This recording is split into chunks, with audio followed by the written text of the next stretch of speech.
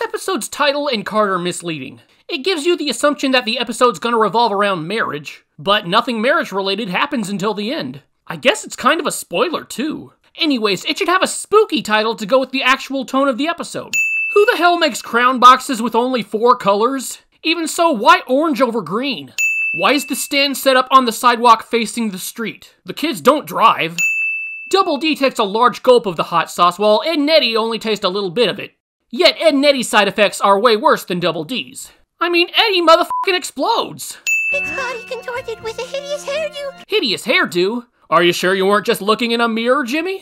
So, where exactly is this house? It looks like it's right on the cul-de-sac, but this is the only time I remember seeing it on the show. I remember it being in the Mis-Edventures, but in that game it was all the way down the lane.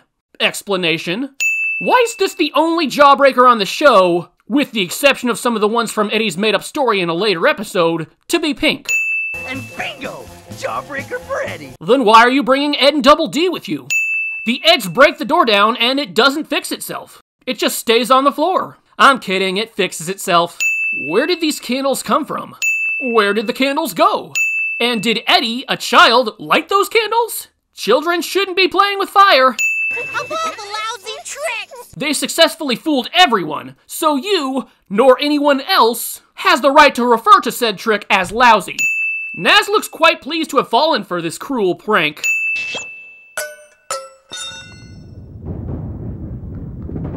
For fuck's sake, somebody make a grab for it! Why does this statue of a ballerina play a Mexican song? What's next? A Russian doll that plays God Save the Queen?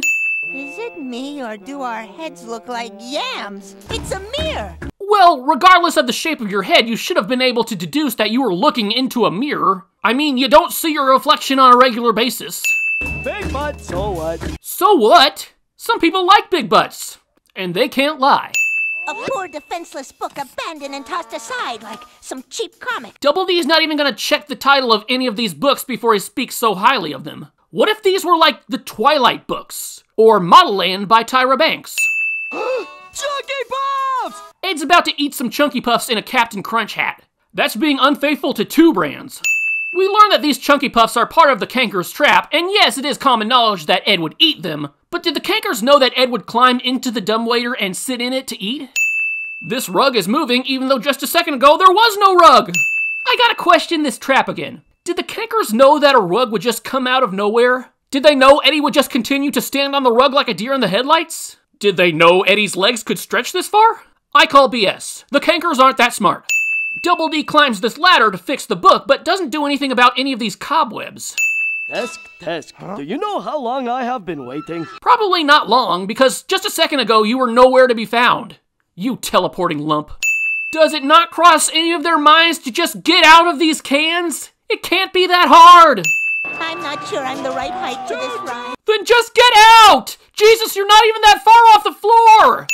Even with the Kankers, stripping someone is too fucked up not to sin. If their genders were swapped, Cartoon Network probably would have gotten complaints up the ass. Is it Valentine's Day? Doubtful. If it was Valentine's Day, Jimmy and Sarah would be cupids. There'd be some weird fanfiction like love story between two characters. And I'd be asking what the fuck I'm watching. Anyways, Valentine's Day sucks. Is that me?